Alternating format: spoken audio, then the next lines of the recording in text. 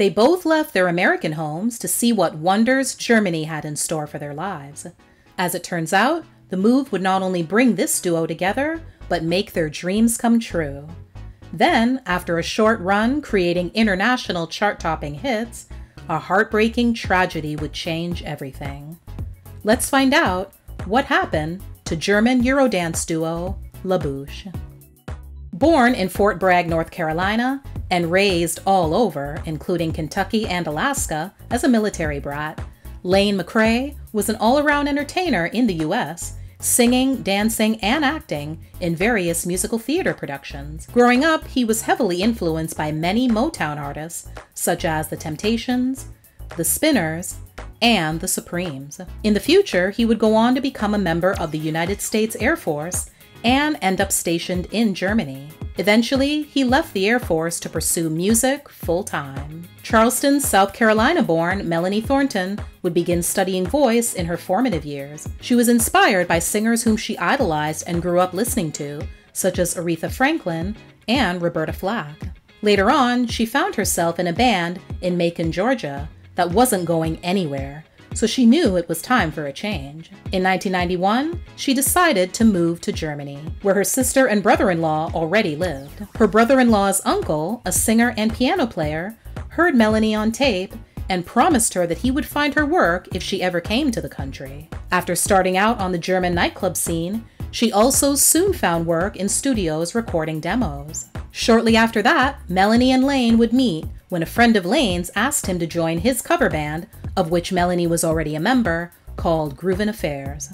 One day, Melanie recorded a song that would ultimately change her life when it caught the attention of German record producer Frank Farian, the mastermind behind the infamous 80s duo Milli Vanilli. He decided to take both Melanie and Lane under his wing in an effort to create the ultimate dance music duo. He was also the one to give them their name, which means the mouth in French since they always had a lot of opinions and often battled back and forth with Frank in the studio over their sound and look. That song ended up being La Bouche's debut single, Sweet Dreams, which dropped in March 1994.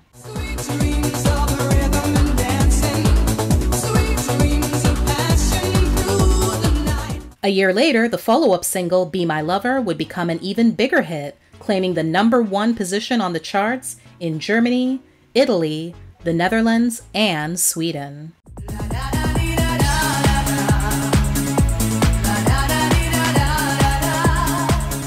It also became a top 10 hit in the US, peaking at number 6 on the Hot 100 and number 1 on the dance chart. Since the chemistry between the two was undeniable on stage, fans naturally assumed that they must be an item off stage. That was actually not the case. However, due to knowing and working with each other for so long, they did end up developing romantic feelings for one another. Those sentiments can be heard loud and clear in the lyrics to their smash hit, Be My Lover. They decided not to act on those feelings and continue to keep things strictly professional. They would both move on, with Melanie eventually getting married and Lane entering into a long term relationship with the lead singer from fellow Eurodance group Culture Beat, Kim Sanders. Also at this time, Melanie was enjoying added success under a different name. Fellow German Eurodance group Le Click released the smash hit Tonight is the Night. To the world, the duo consisted of Kayo Shekoni and rapper-singer Robert Haynes. However, Melanie's vocals took the lead on this particular song. She actually recorded it around the same time as Sweet Dreams.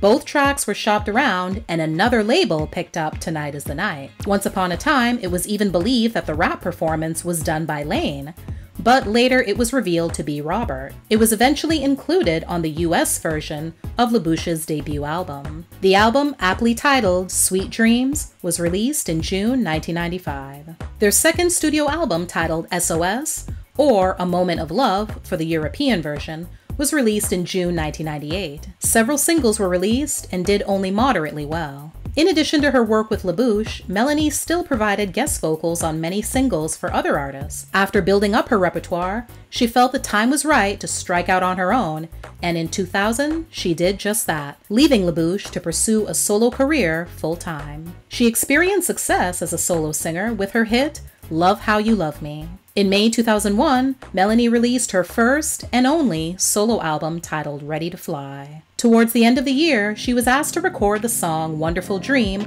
Holidays Are Coming for soft drink manufacturer Coca Cola. It was going to be featured on a German television commercial during Christmas time. Sadly, shortly after her final performance in Leipzig, she lost her life in a plane crash near Zurich, Switzerland on November 24, 2001. She was 34 years old.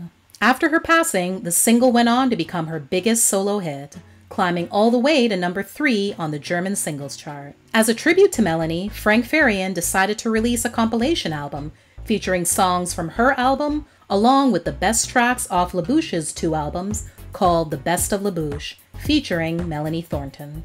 He also debuted a previously unreleased track featuring her vocals called In Your Life. Understandably, Melanie's passing devastated Lane. He took a significant amount of time off, several years in fact, while drowning his sorrows in alcohol. One day, he decided enough was enough and he needed to get back to doing what he loved to do make music. He continued to honor Melanie by keeping the La Bouche brand strong, with featured rotating vocalists such as former Le Click lead singer, Swedish Nigerian Kayo Shekoni, and Hungarian singer Sophie Cairo, just to name a few. In 2018, they debuted their first new single in 16 years called Night After Night. Their latest effort, called Rhythm of Love, dropped in September 2020. Music isn't the only art form that Lane has a passion for. He also paints and has established the Lane McCray Art Gallery. Some of his works can also be found on his website. 2021 has already proved to be a big year for La Bouche. In July, it was announced that Hungarian singer and pianist Timi Kulai will serve as the new lead vocalist for La Bouche's live shows. Additionally, Lane continues to work on his own solo projects. He released his latest single in June called Save My Life.